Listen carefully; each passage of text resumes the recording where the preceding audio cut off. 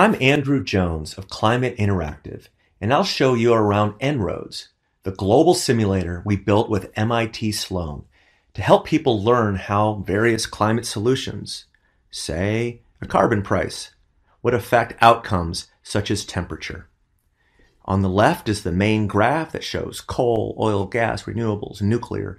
And on the right is the main impact, the global temperature increase by 2100. Down at the bottom are various sliders. One can affect, for example, not just carbon price, but say energy efficiency in transport, energy efficiency in buildings and industry.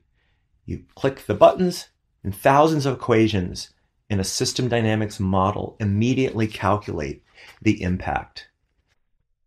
Our team at Climate Interactive and MIT Sloan built En-ROADS with the best available climate science and energy, land use, agricultural economics with data from the IEA, the EIA, the IPCC, and comparing our results against the suite of large integrated assessment models or IAMs from research laboratories around the world. En-ROADS works in two modes.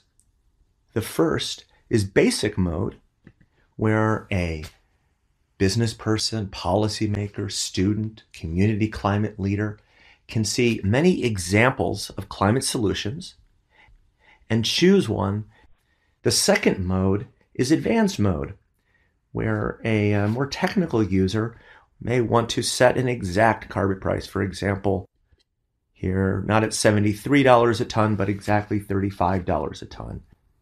The goal of the model is to frame and support better conversations about how to address climate change. We embed this simulator in workshops on strategy and in role playing games. We use it to ground thinking in the best available science focus on solutions and actions, and move beyond polarized conversations.